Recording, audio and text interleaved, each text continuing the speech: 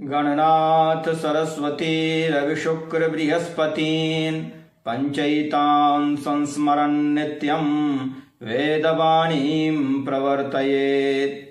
श्रीगणेशाय नमः, श्रीसरस्वत्यै नमः, श्रीवेदपुरुषाय नमः, श्रीमद्गुरुचरणकमलेभ्यो नमः। हमारी जो संस्था है, जिसका नाम जगत गुरु शंकराचार्य सनातन धर्म संरक्षण न्यास है।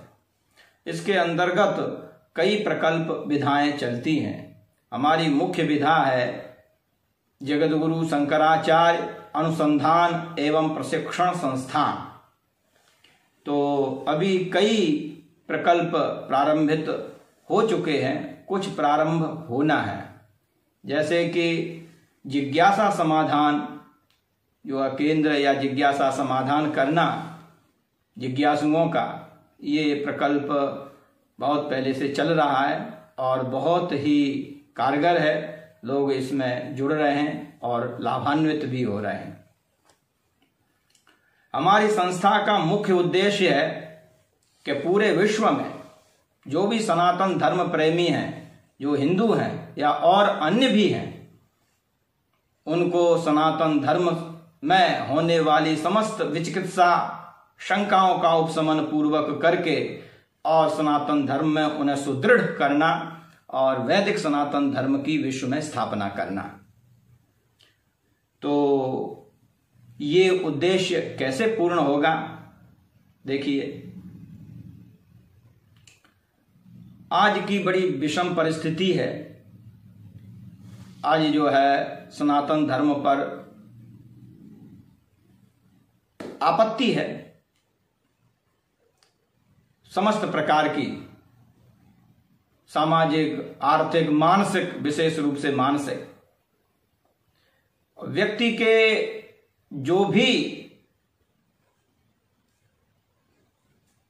त्रिप्रकार के दुख हैं, दैहिक, दैविक, भौतिक, उन सब का उपशमन धर्म से ही संभव है।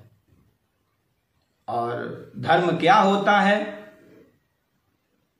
देखिए, मीमांसा का सिद्धांत है यथोभ्युदय निश्रेयस सिद्धि सधर्म जिससे यहाँ कल्याण हो और संसार में व्यक्ति कुछ न, हर व्यक्ति कुछ न कुछ चाहता है, सुख चाहता है तो समस्त प्रकार के अभ्युदयों की प्राप्ति होकर के, वांछित फल की प्राप्ति होकर के जो वो चाहता है वो उसे मिले और अंत में उसका कल्याण हो। वो भगवत धाम के लिए जाए, मोक्ष का अधिकारी बने, जिससे उसे धर्म कहते हैं। अथवा सरल शब्दों में समझें तो वेदों में जिसको करने के लिए आज्ञा दी गई है, विधान किया गया है, वेद के विधि वाक्य ही धर्म है और वेद के निषिद्ध वाक्य ही अधर्म है।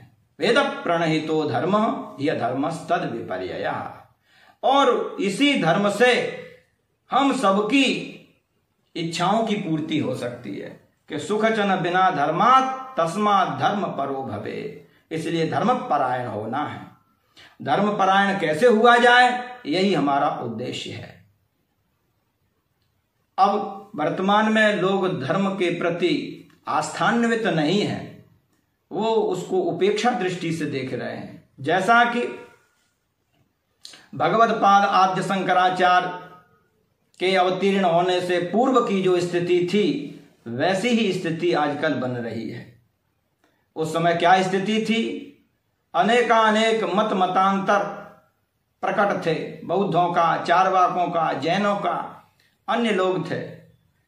जिन नास्तिक मतों का उपखंडन करके सबका दमन करके महाराजा सुधन्वा की सहायता से भी समस्त बौद्धों को भारतवर्ष से खदेड़ करके और वैदिक धर्म की स्थापना की और चार पीठों को सुस्थापित किया, जिनकी व्यवस्था आज तक सुचारू रूप से संचालित है। वर्तमान में भी कुछ स्थिति ऐसी ही बन रही है कि इस समय बड़ा उलबड़ वातावरण है। लोग धर्म से बहिर्मुख हो रहे हैं। उन लोगों को उनके ही सनातन धर्म में सुदृढ़ बना करके और उन्हें उसमें स्थापित किया जाए, सनातन धर्मी बनाया जाए, उनकी शंकाओं का शमन किया जाए, सनातन धर्म का महात्म्य बतलाया जाए, ये हमारा मुख्य उद्देश्य है। तो इसकी पूर्ति के लिए हम लोग जो है एक गुरुकुल की स्थापना कर रहे हैं, जो कि विश्व स्तर पर होगा, जिसमें जिस विश्वविद्यालय विद्यालय में समस्त वर्णाश्रम धर्म के व्यक्ति अपने अपने अधिकार पूर्वक योग्य आचार्यों से अध्ययन करेंगे, और वे फिर आगे स्वयं धर्म का पालन करते हुए आगे विद्या का जो है विस्तार करेंगे। कम से कम हमारे यहाँ अनंत ग्रंथ हैं, उन ग्रंथों के दो दो पाँच पाँच दस दस विद्वान भी ऐसे बने जो उस ग्रंथ की समस्त शंकाओं का समान कर सकें और लोगों का भी समाधान कर सकें।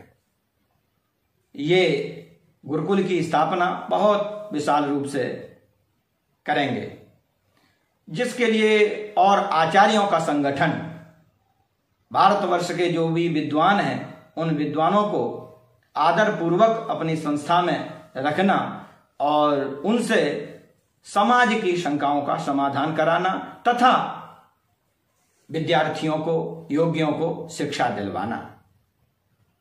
और तीसरा मुख्य प्रकल्प है ग्रंथालय, शास्त्र संग्रह, जो कि विश्व स्तर पर धार्मिक, आधुनिक समस्त शिक्षाओं को देने वाले, प्रशिक्षित करने वाले समस्त ग्रंथों का संग्रह तथा जो डिजिटल ग्रंथ होते हैं, उनका संग्रह करना, वो जो व्यक्ति हर समय, हर जगह उनका सदुपयोग कर सके। और समय समय पर लोगों को प्रशिक्षित करना। जो लोग विद्यार्थी वर्ग नहीं है और भी सनातन धर्म प्रेमी हैं या अन्य लोग भी सनातन धर्म के प्रति आस्थान्वित होते हैं तो उनको, उनके अधिकार पूर्वक उनके अधिकार में रहते हुए शास्त्र आज्ञा का पालन करते हुए, उन्हें विविध प्रकार की शिक्षा देना। विद्यार्थियों को और जिज्ञासुओं को शिक्षित करना। विद्यालय के माध्यम से और शिविर के माध्यम से, जिसमें आधुनिक शिक्षाओं के साथ साथ वैदिक धर्म के सदग्रंथों का अध्यापन कराना और उन्हें प्रशिक्षित करना ये हमारा मुख्य उद्देश्य है। शास्त्रों पर अनुसंधान जैसे बहुत से ग्रंथ हैं जिनके मूल रूप में वो हैं, जिनको हर व्यक्ति नहीं समझ सकता तो उनके ऊपर भाष्य और उनके अनुवाद करना। और भी हमारे जो धर्म में अनेक विद्याएँ हैं, अनेक शिक्षाएँ हैं, अनेक कलाएँ हैं, जो कि कुछ प्रचलित हैं, कुछ लुप्त होती जा रही हैं, उनको भी आधुनिक प्रक्रिया के द्वारा, वैदिक प्रक्रिया के द्वारा प्रशिक्षित करना और उनको उसका प्रयोग भी दिलवाना, उनको, उनका उसमें व्यवसाय रूप में, अध्यापन रूप में उनको आगे तक इस विद्या का विस्तार करने के लिए नियुक्त करना। जिसमें जैसे आप देख सकते हैं, शस्त्र और शास्त्र, कृषि, कलाएँ, विभिन्न प्रकार के शिल्प शास्त्र आदि की कलाएँ, तंत्र विद्याएँ, आगम विद्याएँ, निर्माण इत्यादि के जो भी प्रकल्प हैं, उन सभी को जो है प्रशिक्षित करना, शिक्षित करना और उनको आगे बढ़ाने के लिए अग्रसर करना। इसी से व्यक्ति सुखी हो सकता है। सुख का मूल धर्म ही है और धर्म का, धर्म किसे कहते हैं? धर्म को जानना, धर्म की व्याख्या करना, ये मुख्य धर्म नहीं है। धर्म का मुख्य उद्देश्य है धर्म का पालन करना। परंतु वो पालन कब करेगा? जब वो जानेगा, उसके प्रति आस्थान्वित होगा, उसमें श्रद्धा रखेगा तो उसका वो परिपालन भी करेगा। तो हमारी संस्था का मुख्य उद्देश्य है कि लोग धर्म को कैसे जाने और उसमें कैसे आस्थान्वित हों तथा वे कैसे परिपालन करें, ताकि दुनिया भर के नाना क्लेशों से जो समन्वित लोग हैं, उनके समस्त क्लेशों का निवारण हो सके और वे सुख शांति का अनुभव करके अपना परम कल्याण कर सके। यही हमारी संस्था का मुख्य उद्देश्य है। इसी से समाज की उन्नति होगी। इसी से जो है, राम राज्य आएगा। राम राज्य का मतलब राम राज्य गाना नहीं है। हम राम राज्य की स्थापना करेंगे, राम राज्य की स्थापना करेंगे, ऐसा नहीं है। धर्म सम्राट स्वामी श्री कृपात्री जी महाराज ने कहा है कि यदि कोई व्यक्ति समस्त अपने अपने वर्णाश्रम धर्म का पालन करता है तो वह राम राम राज्य में ही है, वो राम राज्य का सदस्य है। और वो वो ही विश्व शांति कर सकता है।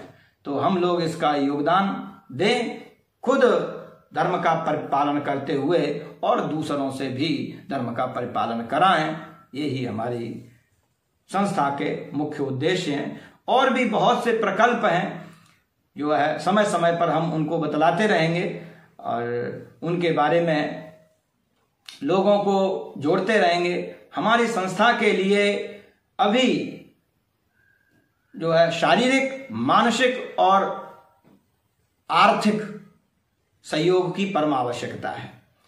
हमको कुछ व्यक्ति भी चाहिए जो निस्वार्थ कार्य कर सकें अथवा धर्म में परायण होकर के कार्य कर सकें। निश्चल रूप से ऐसे व्यक्तियों की आवश्यकता है और आप सब लोगों के सौहार्द और अनुमोदन तथा इसमें सहभागिता की परम आवश्यकता है। तथा आर्थिक आज का युग जो अर्थ प्रधान है, कोई भी प्रकल्प चलाएँ, उसमें अर्थ प्रदान होता है।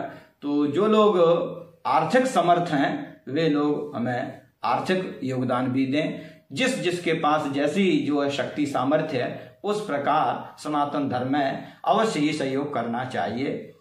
ये भगवान के द्वारा बनाया हुआ सिद्धांत है। यदि वो व्यक्ति ऐसा नहीं करता, अपनी शक्ति सामर्थ्य के अनुसार भी जो व्यक्ति सनातन धर्म के संरक्षण में प्रवृत्त नहीं होता तो वो अपराधी है। शास्त्रों में ऐसा कहा गया है। इसलिए जो है, जो लोग शास्त्रों के अनुसार वैदिक धर्म की, सनातन धर्म की संरक्षणता और उसकी स्थापना कर रहे हैं तो उनका सहयोग करें, स्वयं धर्म का पालन करें, यही सनातन धर्म का मुख्य सिद्धांत है और यही हमारी संस्था के उद्देश्य हैं।